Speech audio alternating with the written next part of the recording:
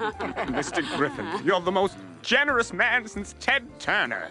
Uh, uh, I'd like to announce I'm giving a gift the whole world can appreciate. I've colorized the moon.